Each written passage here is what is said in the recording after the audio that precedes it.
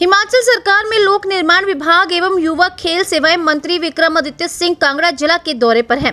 कांगड़ा जिला की सीमा विधानसभा जवा- ज्वालामुखी से शुरू होते ही स्थानीय विधायक संजय रतन व कांग्रेस के कार्यकर्ताओं ने उनका भव्य स्वागत किया विक्रमादित्य के ज्वालामुखी पहुँचने पर कांग्रेस कार्यकर्ताओं ने उन्हें एनएच पर स्पीड ब्रेकर से राहत दिलवाने के बारे में जैसे ही कहा तो खुद विक्रमादित्य सिंह बोले, मैं भी अभी इसी रास्ते से आ रहा हूँ और मुझे भी झटके लगे जल्द ही इस समस्या का समाधान करने के निर्देश भी उन्होंने तत्काल ही अधिकारियों को दे दिए। विक्रमादित्य सिंह ने कहा कि कांगड़ा जिला का हिमाचल में कांग्रेस की सरकार बनाने में अहम योगदान रहा है और उनके पिता स्वर्गीय वीरभद्र सिंह जब भी मुख्यमंत्री के रूप में कांगड़ा जिला में आए तो उन्होंने कांगड़ा के विकास को सर्वोपरि रखा है।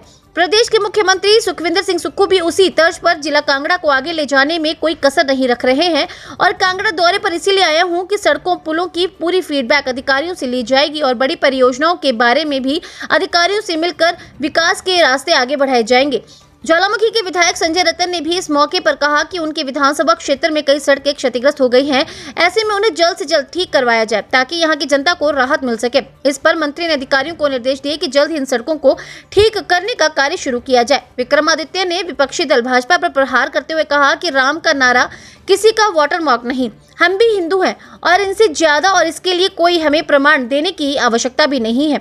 कर्नाटक की जनता ने ऐतिहासिक जीत कांग्रेस को दी है। धर्मशाला में बड़ी बैठक होने जा रही है, जिसमें वे भाग लेने जा रहे हैं, जिसमें समस्त विभागीय अधिकारियों को बुलाया गया है।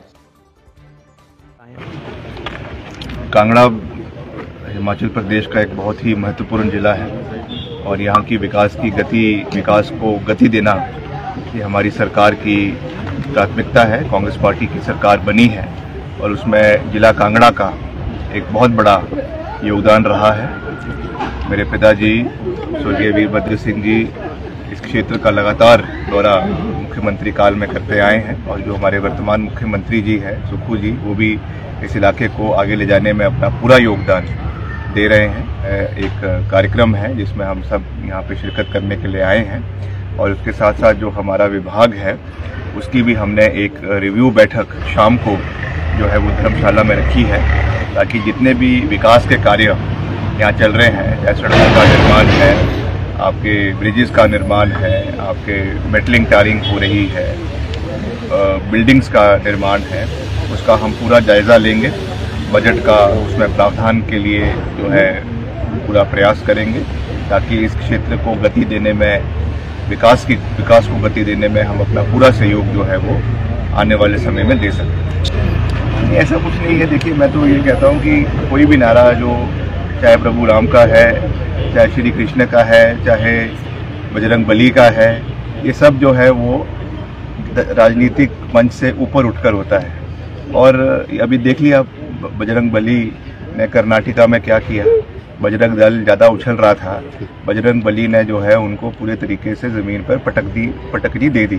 तो इस तरीके से धर्म का जो है दुरुपयोग राजनीति में नहीं करना चाहिए और हम यही संदेश के साथ आगे चल रहे हैं कि हिमाचल प्रदेश एक देवभूमि है। यहाँ पे कण कण में देवी देवताओं का आवास है। और ज्वाला जी की बात करें, यहाँ पे जो हमारी ज्वाला माँ है, पूरे विश्व में प्रसिद्ध में प्रसिद्ध है। तो ये हमारी धरोहर है, ये हमारी संस्कृति है। इसको राजनीति से जोड़ के नहीं देखना चाहिए। जिस तरीके से भाजपा इसका राजनीतिकरण करती है, ये बहुत दुर्भाग्यपूर्ण है और एक केवल एक संदेश देने के लिए कि हम भी उतने ही हिंदू हैं, बल्कि उनसे ज़्यादा हिंदू हैं। बिल्कुल करेंगे। आज भी हमारे माननीय विधायक संजय रतन जी ने यहाँ पे जितने हमारे अधिकारी हैं चीफ इंजीनियर है, हमारे एससी है और हमारे जो स्थानीय यहाँ के एक्सीएन है तो अभी नए एक्सीएन यहाँ पर आए हैं। उनको, उनके साथ हमने ब्रीफ मीटिंग करी है। यहाँ के जो विकास कार्य चल रहे हैं, उनको गति देने के लिए मैंने भी अधिकारियों से निवेदन भी किया है कि पूरा सहयोग जो है वो माननीय विधायक का दें इलाके के विकास कार्यों को आगे ले जाने के लिए। यहाँ पे पूर्व सरकार द्वारा जो वीरभद्र सिंह जी की सरकार थी, कांग्रेस पार्टी की, उस समय बहुत विकास के कार्य हिमाचल प्रस्तुत के लिए ज्वालामुखी से ब्यूरो रिपोर्ट।